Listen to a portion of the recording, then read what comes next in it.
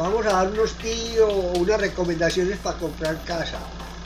Eh, la primera, se están vendiendo las casas muy rápidamente y los precios van para arriba. Si usted quiere comprar casa, si usted es primer comprador, acelérese un poquito porque cada vez las casas van, están costando más. El segundo, si ven mi video, fíjense en la fecha, porque hay casas, yo llevo 10 años haciendo videos, entonces hay casas que valían 80, 90, y esas casas no existen, o sea, las casas ya existen, pero el precio no vale eso, es como la gasolina, como como la leche, o sea, hace 10 años la leche valía un dólar, la gasolina valía 90 centavos, ahora vale 3 dólares, o sea que las casas están subiendo como todos los productos en el mundo, ya no existen casas fijas ni valores fijos, nada está fijo, todo va para arriba.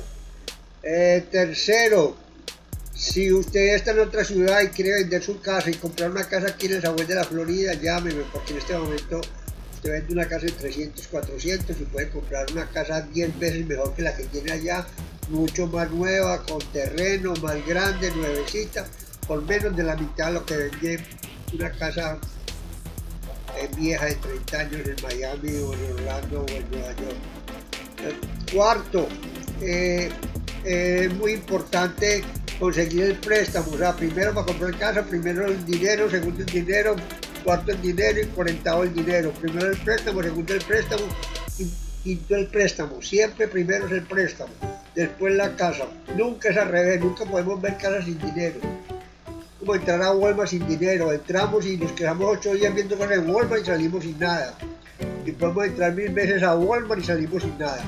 O sea, hay que entrar a Walmart, si vamos a comprar 100 dólares, entrar con 100 dólares en tarjeta, lo que sea. O sea, primero el préstamo, segundo el préstamo y quinto el préstamo todas las personas que quieren comprar casa por primera vez, Obama le está dando una muy buena oportunidad para comprar casa, aprovechela y también las personas que tengan casa y quieren comprar su, segunda casa, también hay muy buenas oportunidades de préstamo.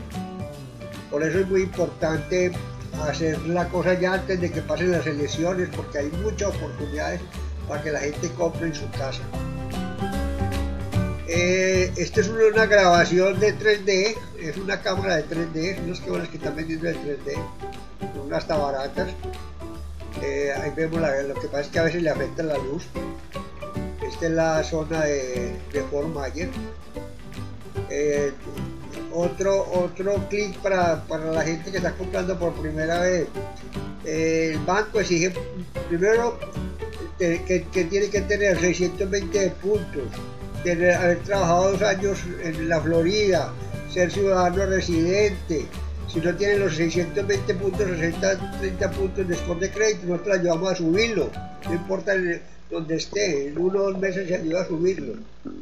Eh, ¿Qué más? Eh, demostrar que, se, o sea, el ingreso familiar sea más de 2.500 o 3.000, o sea, el ingreso familiar es el papá, la mamá, el perro, el amigo, el que sea.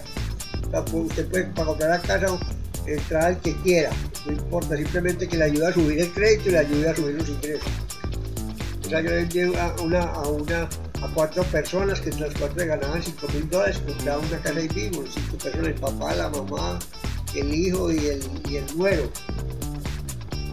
Compraron esa casa, o que se puede unir las personas que sean. Aquí ya estamos viendo, ya, ya pasó la luz, ya vemos la, la ciudad de, de Cape Coral, la ciudad de Cape Coral que estamos grabando en este momento, en las calles de Cape Coral tercero, comprar aquí es muy bueno porque los taxes son muy baratos, es muy bueno porque las, eh, las mensualidades son muy baratas, es muy bueno porque las casas son muy baratas, es muy bueno porque no hay congestión, es muy bueno porque aquí no hay atrancones, es muy bueno porque aquí la, seguridad es 10 veces o 20 veces más grande que las grandes ciudades como Miami, Tampa, Orlando, Nueva York, es 10 o 30 veces mejor.